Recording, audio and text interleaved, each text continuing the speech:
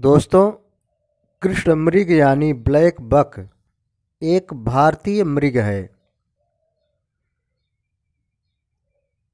प्राचीन काल में यह भारत में बहुलता से पाए जाते थे। किंतु अब ये छोटे, बिखरे हुए झुंडों में देखे जाते हैं, जो मुख्यतः किसी संरक्षित वन क्षेत्रों तक में ही सीमित हैं।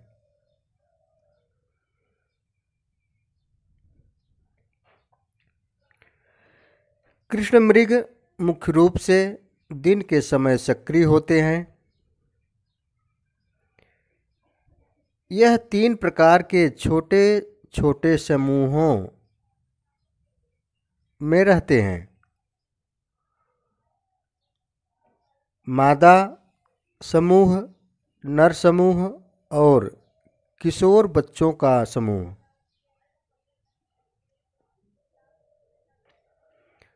दोस्तों नर कृष्ण मृग अक्सर प्रणय की मुद्रा में रहते हैं, जो किसी हिरणी के इर्द गिर्द मंडराते रहते हैं। नर अक्सर संभोग के लिए हिरणियों को गले लगाने की रणनीति के रूप में लेकिंग को अपनाते हैं। जबकि अन्य नर हिरणों को इन क्षेत्रों से दूर रखने की कोशिश की जाती है।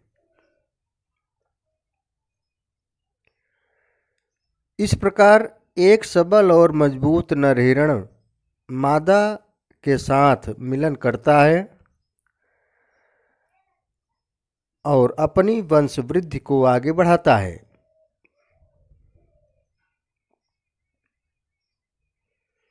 काले हिरणों में यह क्रिया पूरे वर्ष भर देखी जाती है।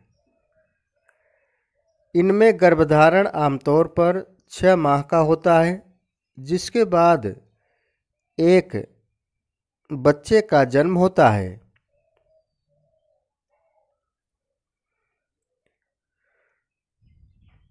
मादा बच्चे हिरणियाँ आठ माह की उम्र में यौन रूप से परिपक्व हो जाती हैं। किंतु अपना साथी वो दो वर्ष बाद ही बनाती हैं। जबकि नर बच्चे अठारह माह में यौन के लिए परिपक्व होते हैं। दोस्तों, आमतौर पर इनका जीवन काल 10 से 15 वर्ष का होता है। दोस्तों, अगर आपको हमारी यह वीडियो अच्छी लगी हो तो इसे लाइक तथा शेयर करें। साथ ही यदि आप इस चैनल पर नए हैं तो इसे सब्सक्राइब कर आल वाली घंटी का बटन ज़रूर दबाएँ ताकि इस चैनल की हर अपडेट आप तक पहुँचती रहे। धन्यवाद।